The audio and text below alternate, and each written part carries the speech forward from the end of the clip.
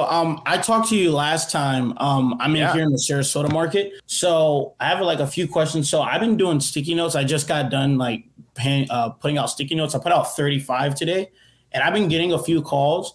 And I put out bandit signs and stuff. But the only thing that I'm coming up with, like, people are calling me, and like I have this one lady who's um she had a probate, but um she was saying that uh if she doesn't pay off like nine thousand dollars, it was a home equity loan from her mother. And she was saying if she didn't pay off the like the nine thousand dollars by like Thursday, then they would remove her from the estate and she would like get like they would basically go to the state and she can't sell it anymore. And I was like, I never heard of that in my life. In the I- state of Florida, Yeah, I'm in the state of Florida. uh, how was? Did you look at how the property was titled? It's in her name. The title's like it's in her name, which may I don't I don't get it. The only thing they can do is foreclose. That's it.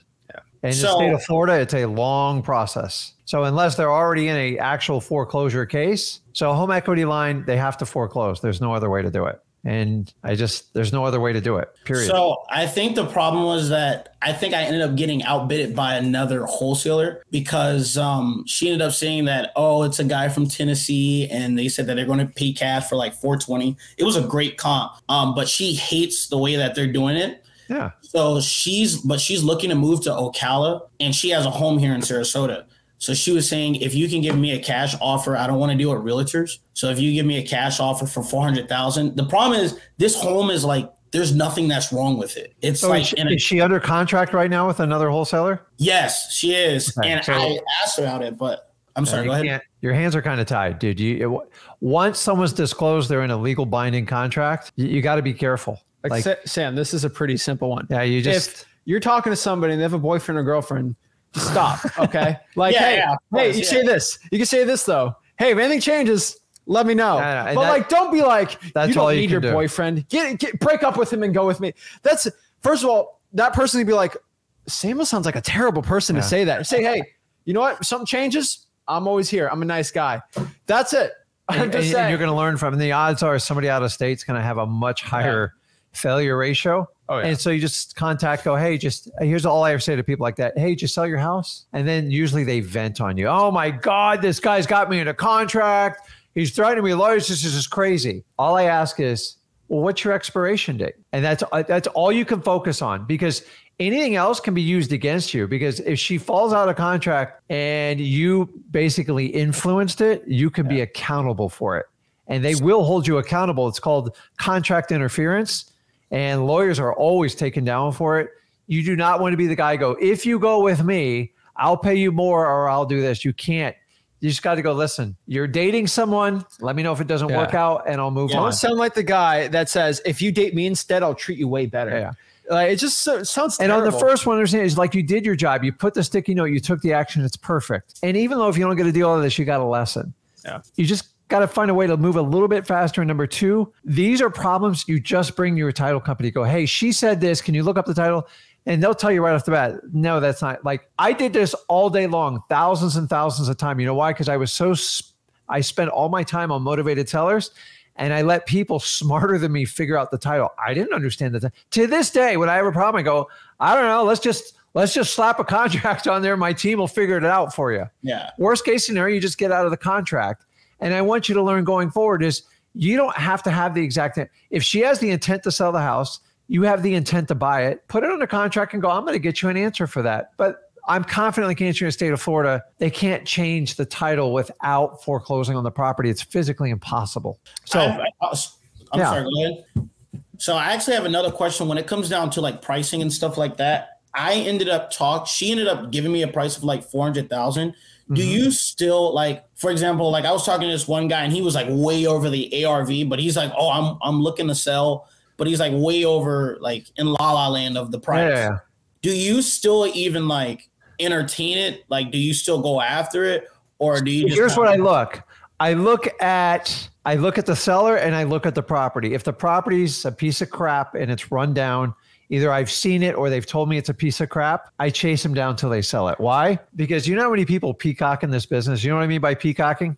No, I, everything's fine. I'm perfect. There's holes in the roof. There's water pouring in. It's a beautiful piece of property.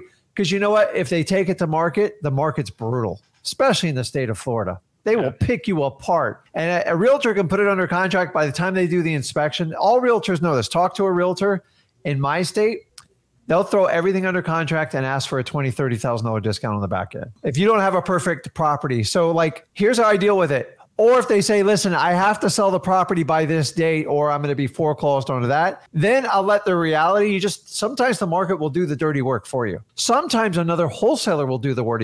I've had wholesalers put a, a property under contract like 150 grand over the ARV. I'm like, well, sure. I, and here's what I say I just go like this. And I go, you know what? It would be irresponsible for you not to take that deal. Just make sure they have a legitimate deposit and they've shown you a proof like and make sure they can close the deal. And if they sign it the odds are it's probably going to fail and guess who's going to be there to clean it up? And i don't interfere. I just find out okay you gave them 30 days. Okay i'll just check back you i'll check back you on about day 25 26 that's it. I don't interfere with people's contract because it's not right and it makes you liable. Yeah. and it, you can get in trouble doing that. So when they're pie in the sky, if the property is a piece of crap, I always keep them on my radar because have you ever told someone like not quite the truth in low, like if your life's in shambles, but you go, no, everything's perfect. I got plenty of money in the bank account. My girlfriend's good. And in the background, you know your girlfriend's leaving you and you know you're about to have an overdraft fee. This is what America does. And yeah. so when especially when they meet someone like Samuel and they've never talked to you, their first 3 minutes, everything's perfect in my life. I always look at this. There's a reason you're on this list or there's a reason you called me or there's a reason we're having this conversation and I leave it open. But if the house is perfect, they're perfect and they're seeking a realtor, I just tell them, why don't you just go ahead and list it with a realtor? If there's no motivation, you're literally wasting your time with these people. And that's what I don't want you to waste. More wholesalers waste time trying to convert people that are never meant for our business. And so if I have a disgusting house and they want to do it with a realtor, the market will discipline them themselves. I'm not even worried about it. Period. I'm really trying to like get my first contract. Like I've only been wholesaling for like 24 days. Yeah. yeah. But like I really am trying to. You like, were close. What was the ARV on that probate, if you don't mind me asking? Uh, it was 580. The house next door sold for 699. Uh, they got it under contract for 420. Yeah. It was it was a it was a smoking deal. He he I know. So look back through that and just say, listen, I get it. You're new at it. And the thing is, like guys, understand he took the risk and took the action. I know it's frustrating you didn't get it. And honestly, I would still follow up, do the rules I gave you and play by the rules. Don't be a slimy wholesaler because they're the ones who ruined this business. But you're going to get a lesson or a deal, and you might actually get both out of this, Samuel. And I'm just telling you, that's how it works. You just learn. Do you know, guys, know how many deals I screwed up my first year? It was it was terrible. It was really bad because I was so conservative and I wanted everything perfect. And I've learned from that. And I the whole point of me is that teaching you guys with freewholesaling.com is take the risk, take the initiative. You're going to fail. Just you got you just got to learn to get back up on your feet and go. Now, your next one, you kind of know how to deal with it. It's like, hey, let me ask you this, Samuel. You're doing this 24 days. What if a client tells you, hey, listen, I got a probate deal, but my t- lawyer told me I can't sell it till the probate's complete? What are you going to say to him? Um, no, the, no, I watched one of you guys' videos about is um, in Florida, you can sell it. And if you would like to sit down and talk in the United States, you can. It's not just a Florida thing. You okay. go, do you know there's a way you can sell your property before the probate's complete? Would you like to know how? And I use it as a as a lever to set an appointment with either virtually or physically. I go, well, let me ask you some questions. Now, I'm not going to give it till the very end, like because if you give it away, they're just going to take it and then do it with somebody else. Yeah. So use it as a lever. It's knowledge and action that just sets you apart. If you got bad knowledge, all the action in the world ain't going to make up for it.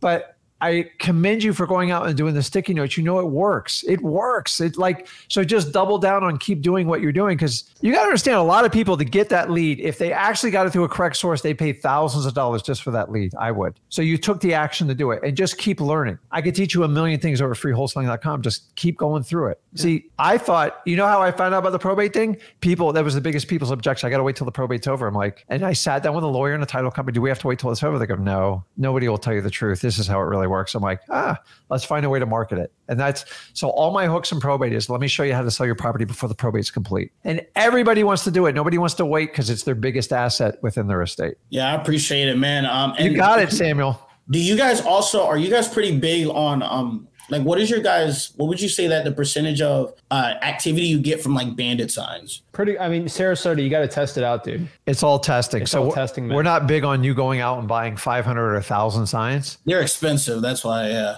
yeah so did you buy the signs i did like yard signs and like wrote on them. We Yeah, buy there you go. It That's it. works. Like just test it out though. It might not work. No, it might. You, you got to test it out. So some of the keys is while you're driving around, y- you'll consciously start to notice signs. Like you're thinking Yeah, about yeah, yeah, signs. yeah, yeah, yeah. And so you look for patterns. And over a 30 day period, if signs are sticking out there and they're constantly putting them out, it means they're working. Mattress signs and dating sites, those are the ones you try to replicate because they're very good at getting traffic because that's 90% of where their business comes from. Bandit signs. Sweet. All right. Well, I'm gonna just keep doing that. Uh, thank Okay. you guys so much for the content as well. Okay, man. All right. Good luck, man. Thanks. Awesome. All right. next So he took the action and he sticks Yeah. a sticky note out there and it's like, Right? shocker, it works. Oh, oh my God. And the thing is, they're going to hit you with problems, especially when you're new, and you're not going to have any idea how to solve it. That's why we want you to make sure you align yourself with a title company because they're an expert at title and they can give you an instant answer and you can call your seller back and give them the good news. I, I agree. Uh, Jake. Hey, can you hear me? Yeah. What's up, man? What's up, Jake? Hey guys, hey, I just started. Uh, got in about six weeks ago. Um, so I've been kind of grinding pretty hard. Ran into kind of two issues with a probate and foreclosure. Um, the main the main one I'm looking at, the main issue is uh, the mother passed away um, and left the house. To, didn't have a will, um, but the house was supposed to fall to the son. Um, but the the land that the house is on is owned by the uncle, and so the uncle's trying to.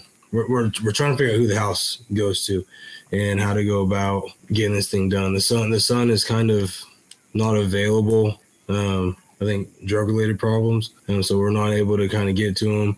And the house went up for auction, but no one wanted to get it in the city, so it's still just sitting there. Um, next auction date isn't until next year, and so um, Uncle wants to try to get the house sold. We're just trying to figure out how to what. what Okay, step so let's let's unpack this one first. What state are you in? uh, Kansas. Kansas. Okay. Um, I was born in Kansas, by the way. Um, so you're trying to figure out the will. Am I correct? Like who gets what? Pretty, I think so. We're we're sure we're pretty sure that the house is supposed to go to the son, uh, but there is no will. There is no will. So when you say we, are you talking about you and the seller? Uh, yeah, or me and me and the un- the landowner, which is the the son's uncle. Yeah. So you've got to understand this part of it. You've done your job. You located somebody that has a uh, distressed type of property. This would qualify for it. You put them under contract if they're the valid person to sign or not. That's not up to you to decide. And then you give it to a title company or an attorney because you don't have control of any of those answers after that. That is Okay. that's all you can do. Like, and I listen. I want to help people out, but I'm going to tell you, when they die without a will, intestate, it's it's not up to you to make that determination. And honestly, it's not even up to the current family. It's actually up to a judge and how they enter into it. So, um, did they actually open up a probate in the state of Kansas? Uh, yeah, the house is supposed to be under probate. I'm not entirely sure if it's still under probate or not. Um, I've been Yeah. it's been hard. To listen, you you work. you control what you can control, Jake, and let either a title company or attorney tell you what can be done with it. Because if somebody dies without a will and there's no clear chain, it can get really, really complicated quickly. Yeah. Because the question is who can sign for that house? And it might have to wind up going to some sort of public sale. And there's nothing you can do about it. Going to a public sale really has nothing to do with wholesaling unless you have inside information on. Now, here's what you could do. If it was a public sale, do they do uh, the sales online in Kansas? Yeah. So the old days we used to show up. I would go out and find cash buyers. I literally did this. You can't do it anymore. It doesn't work. And find out what they pay for the property. And then I would go to the auction. And if he was willing to pay me a hundred for it and I could buy it for like 80 or 85, I would I would leave a deposit check. I had to leave a thousand dollars at the court. It was non-refundable. And then I would have him fund me the thousand dollars. I'd have him leave a deposit. And then I'd go. And then basically you had 48 hours to fund it. And I would tell him, listen, here's the deal. If I do it, it's like you're closing in 24 hours. That's the only other strategy you could do. It's like you did your deal, you found it, but like I know you want to help them out and solve their problem, but like you can't. It has to go through a court process, and they're not going to involve you in it. So Okay. don't try to control it because you're not going to get the outcome you want on it. So I should, at least for right now, if I have the only option I have besides the auction thing is is to pretty much go have them sign a, get the contract signed up, take it to the title company, and kind of see where it goes from Just there. try. That's all you can do. Is anybody living in the house? Uh, no, we're, we're we're sure the son's like squatting in it, but no one's Yeah. living in it. Uh, there's, yeah, you're you're kind of just follow that route and kind of move on and go find some other motivated sellers. Yeah, there's smoke there, but I don't know if it's going to turn into a fire. Probably not.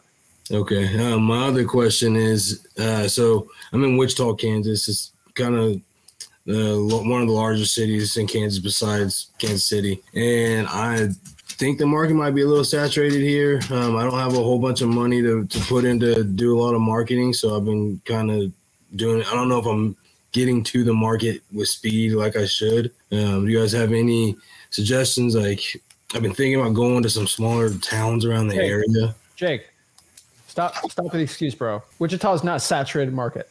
All right, It- it- you're fine, man. Wichita is a very good market, and it's not saturated by any means, dude. You are creating barriers in your head that Wichita is now a saturated market.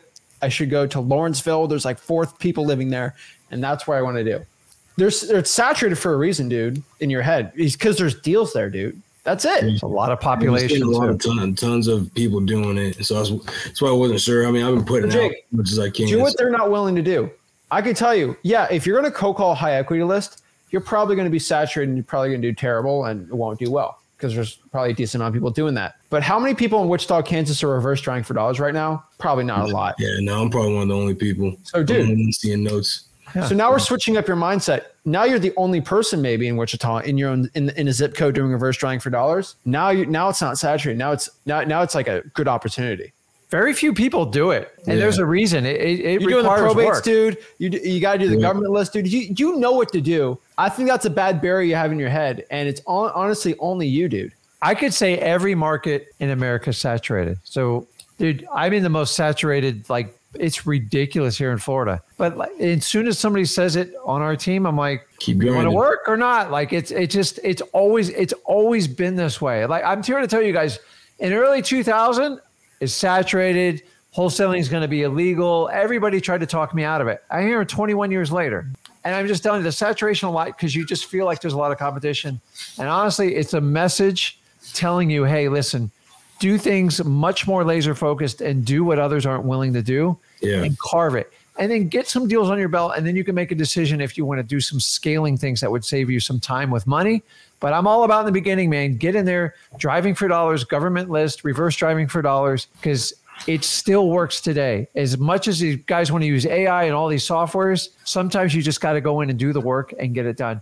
You have 400,000 plus homes there. People, there's people. Do you think someone's losing their job right now? Do you think somebody's passed away? Do you think someone's being foreclosed on? The more people, mm-hmm. The more opportunity. So you have to look at it as like a blessing. You're not competing with realtors. And honestly, most wholesalers don't even know what they're doing. So do the actions that most others won't do and just put your mind and go to work. Because if you constantly compare yourself to the competition and stuff, you'll just psych yourself out. 100%. I get it. I feel you guys. I appreciate it. Okay, right. man. Have a good one. Thank you.